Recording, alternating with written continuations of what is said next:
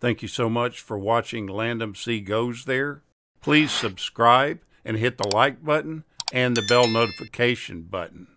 Rowan and Martin's Laugh In, or sometimes referred to as just Laugh In, was an American sketch comedy television program that ran for a total of 140 episodes from January of 1968 to March of 1973 on NBC.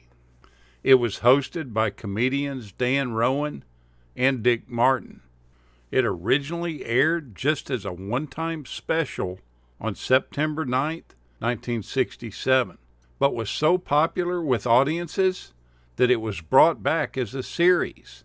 It replaced The Man from U.N.C.L.E. on Mondays at 8 p.m. It quickly became one of the most popular television shows in the U.S.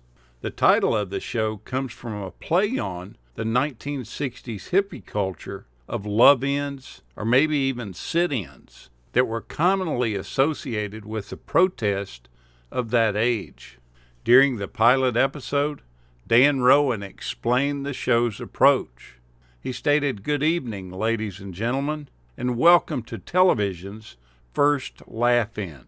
He said that for the past few years, everyone had been hearing an awful lot about the various ends that were happening, whether it be a love in or a sleep in, and that this was a complete laugh in. He also reminded them that laugh in is a frame of mind, and that for the next hour, he would like the audience just to sit back and laugh and forget about all the other ends that were so rampant during that time. The good natured, light hearted, informal disposition of the show was thereby established.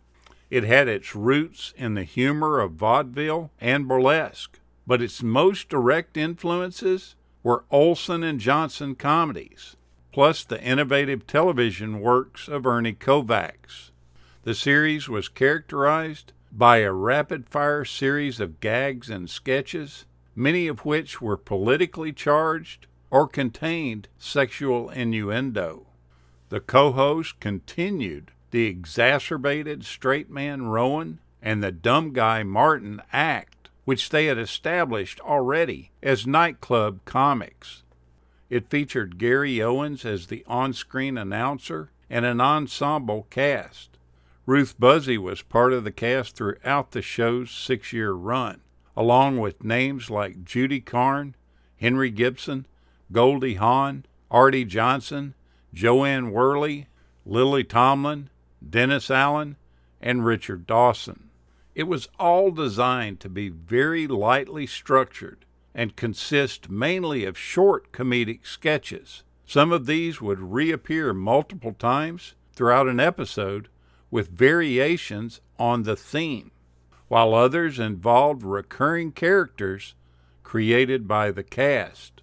In other parts, cast members and guest stars would simply appear as themselves, delivering jokes or reacting to a previous sketch.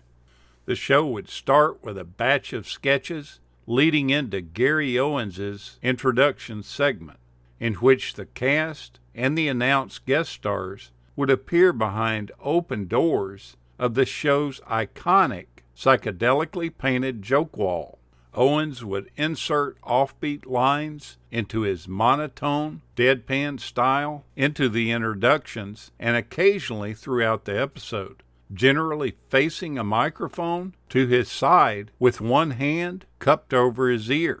After more short sketches leading into and out of the first commercial break, Rowan and Martin would walk in front of the show's home base set to introduce the show and have a dialogue which generally consisted of Martin frustrating Rowan by derailing his attempt to do a proper introduction via misunderstandings or digressions.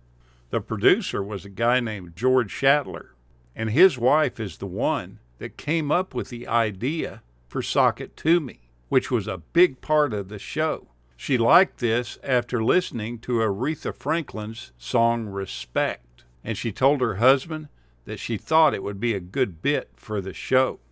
George Schlatter didn't produce the final season of the series, but he won the rights to those episodes in a court battle.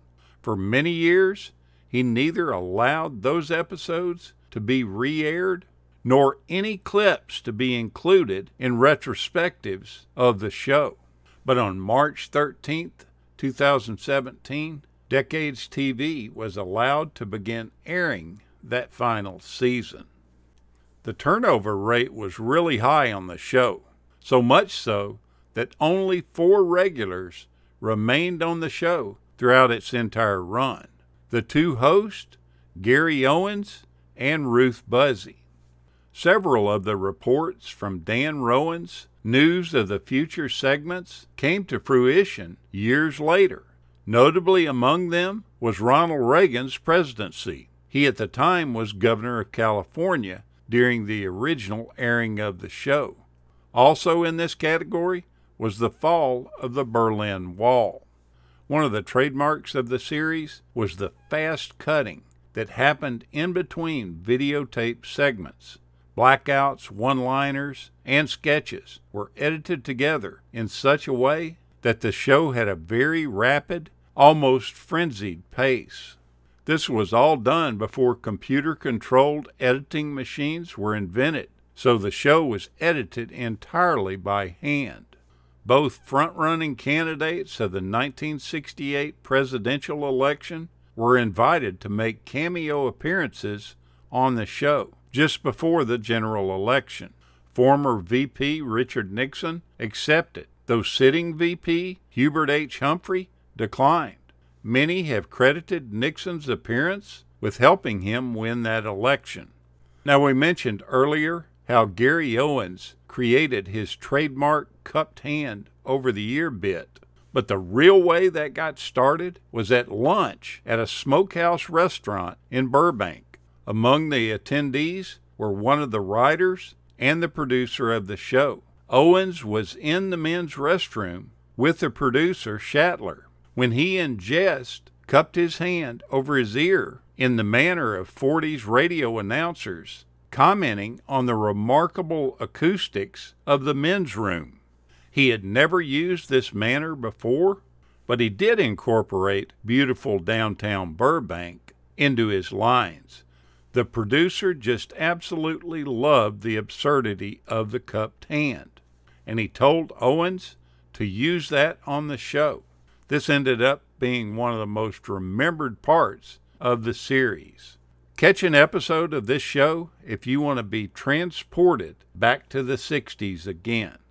Thank you so much for watching, and we'll continue to chase the classics.